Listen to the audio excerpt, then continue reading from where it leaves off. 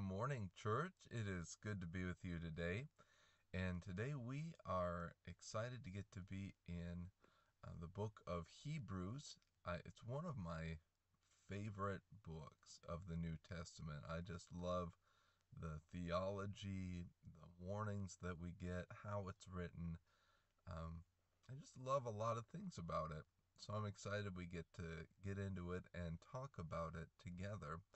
But before we get there, I want to consider Second Kings, and we get to King um, Azariah, which is King Uzziah in Chronicles, and we get a little bit more about him. He did what was right in the Lord's eyes, but the high places were not removed.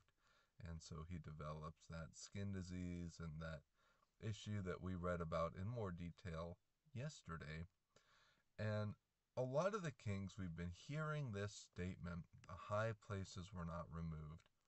Israel had a habit of going to different places to worship, picking different holy spots, and they would uh, establish them as different places where it was valid to worship God, even though God had said, only at my temple in Jerusalem. That's the place to go. And this is a good reminder for us that we can do a lot that's right.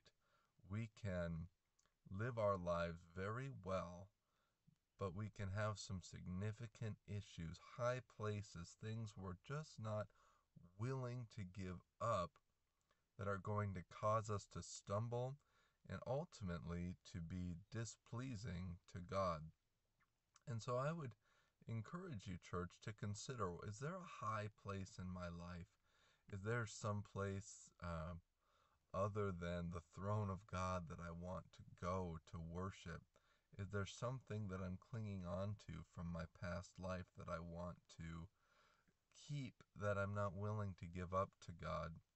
And then we go to Ahaz. Remember yesterday, Ahaz, when Isaiah went to him and said, Tell God what sign you want, to, as a reminder that he is going to handle these kings. And he said, Oh, I wouldn't dare test God. And so we get that prophecy of the virgin will give birth to a son and he'll be called Emmanuel, God with us. Well, we see today he's a bad dude. Chronicles doesn't tell us, but he sacrificed his children in the fire. That's to Molech. Uh, he they were born, and then there was like this offering plate over this hearth that he would kill the kids and burn them on this plate, passing them through the fire. And and he would dare say, But I won't test God. Again, we get this reminder you don't just sound good, don't just sound holy, but then live an abomination of a life like Ahaz.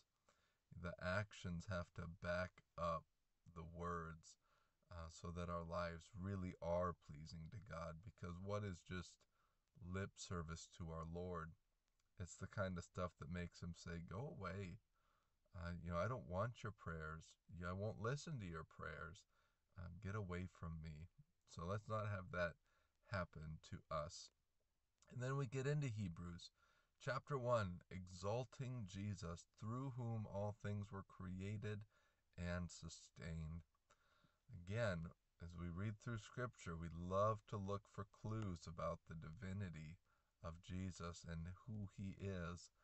And chapter 1 of Hebrews is certainly a great, uh, great place to start because he can't be created if all things were created through him. And It is just how uh, how God operates that and we go back to Genesis 1 and John 1. In the beginning was the Word, and the Word was with God. Genesis 1.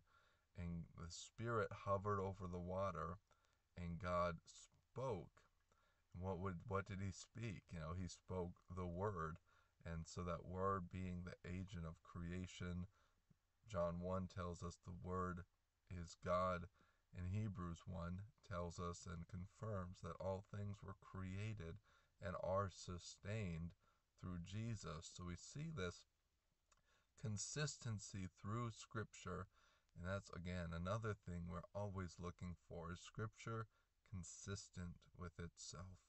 And the answer is yes. And that gives us confidence in the message, and that gives us hope that our God is with us and always remembering his promises.